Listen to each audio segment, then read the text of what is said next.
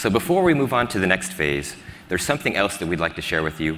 It's something that we're very proud to announce. So without further ado.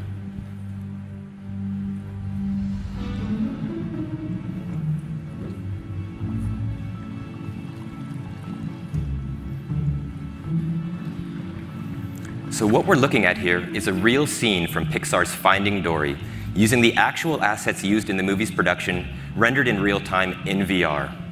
We've partnered with our good friends at Pixar, and we're happy to announce Unreal Engine support for Pixar's universal, universal scene description format. This scene